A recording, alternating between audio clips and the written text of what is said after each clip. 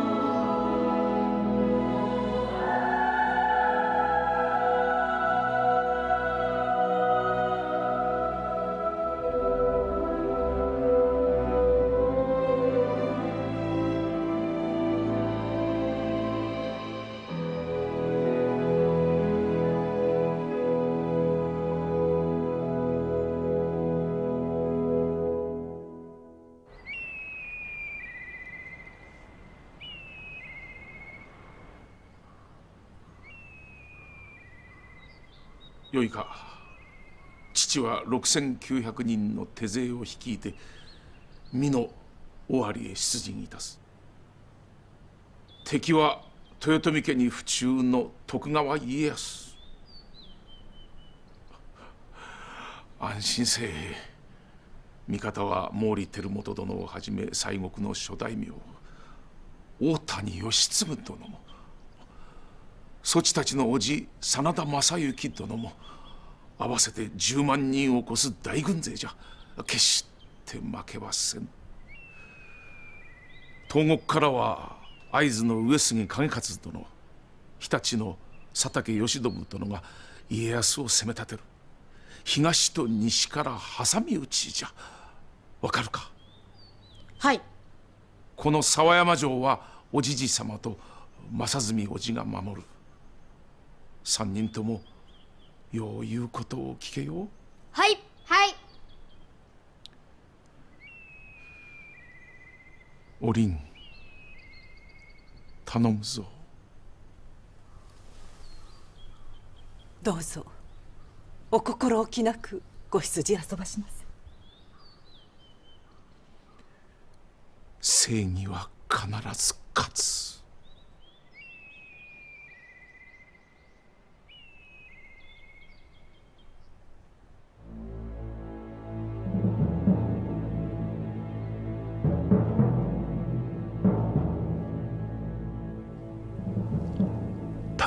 は明日終わりへ立て。心得ましたくれぐれも福島正則の心変わりに気をつけろ。ほ田中義政も三成と幼なじみじゃ。まさかとは思うが監視を怠るな。心得ました涼しゅうなったらわしも行く。佐竹義信は攻めてまいりませんか？それはまだわからん。伏見の古田織部に終戦を頼んだ。家康に加担すればあいつをくれてやるとな。古田織部？佐竹は織部の弟子じゃ。茶の湯のななるほど。中納言様ご内室お豪の方お見え遊ばしました。苦しゅうない。しからばこれにて。忠義を頼むぞほう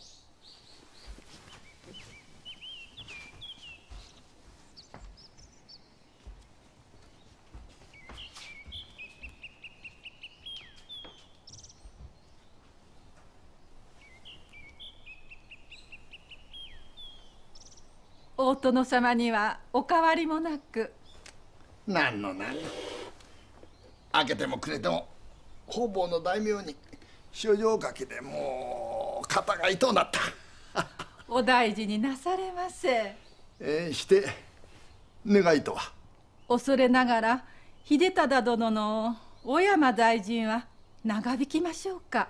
会津の出方次第じゃが、まあ、当分は宇都宮城の修築に勤しむ宇都宮会津が片付けばおそらく上方に登ることになろならばこの号を宇都宮へお使わしくださいませう。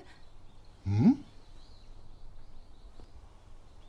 秀忠が恋しいか。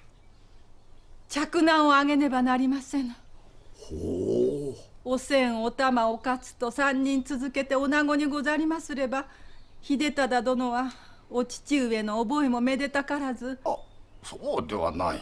急いで着難をあげねばお号は6つも年上にござります来年まで待て。来年まで？今年は三成退治の大戦になろう。おそらく江戸には戻れまい。ご無体なせいてはことを潜んじる。お父上は秀忠殿に側室を持てと仰せ遊ばしたとかあいや、申してはおらぬ？あ、いや、ああ、申したかもしれぬ。やはり一角の武将であれば側室の二人や三人持って当然ではないなんじゃその顔は着難はこのお号が生みとうござります。ああ産めばよかろう。ならばこのお号を宇都宮へ。いやそれはならぬご承でござります。えー、戦と子作りは別儀じゃ。お待ちくださりませしょしょんべんじゃ。おいしょんべんしょんべん。しょんべんだ。おい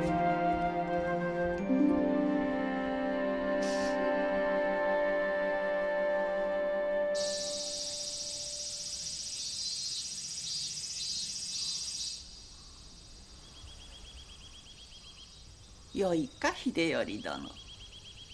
こなたは貞姫というてそなたのいとこじゃ。つまり千姫の姉にあたる。千姫は長女にござります。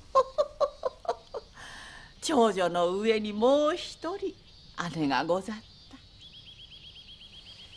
た。訳あって伏見のお寺に預けていたが今日から大坂城に引き取りわらわの養女として育てる。仲良するがよい。いくつじゃ？九つにござります。貞姫は武将には嫁がせぬ。しかるべき公家のもとに腰入れさせましょうぞ。さすればそなたの母も安堵いたすに相違ないよろしくお引き回しのほど。おおさてこれなる貞姫とは何者にてござ候ろうや。貞姫の母とはどなたにて候ろうや。歴史に詳しいお方ならばははんとお気づきのはず。恐れながら申し上げます。何事じゃ？はあお庭で遊びゃれ。はい。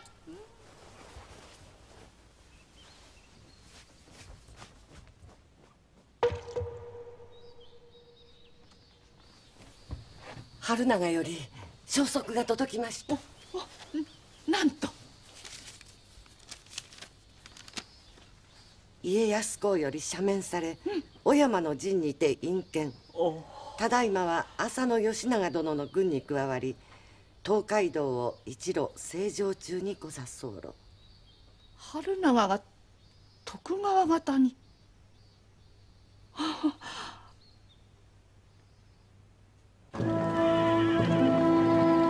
8月10日東軍の中軸部隊は浜松を過ぎて浜名湖の辺りまで到達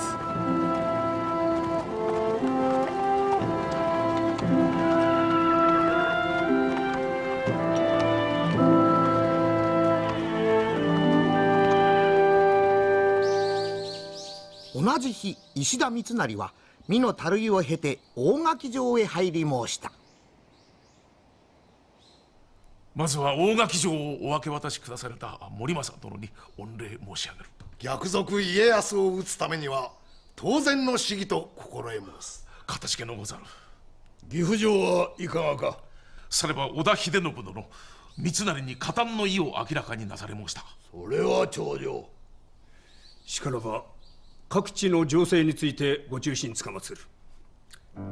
北陸にては金沢の前田利長が小松の丹羽長重殿とすでに開戦。敦賀の大谷義継殿を援軍に使わしつつあり。丹後田辺城は細川雄斎眼鏡に抵抗を続けるも遠からず落城の知らせやらんと心得申す。窓落ちも半か。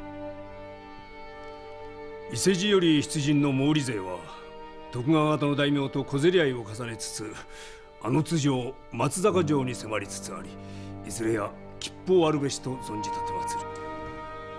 我らは美濃を拠点に終わり表へ出馬いたすのが眼目なれど黒田城の一つ柳直盛清須城の留守居津田重元いずれも城の明け渡しに応ぜず今しばらく説得を続けた後一戦交えるもやむなしと判断。福島正則は徳川方か。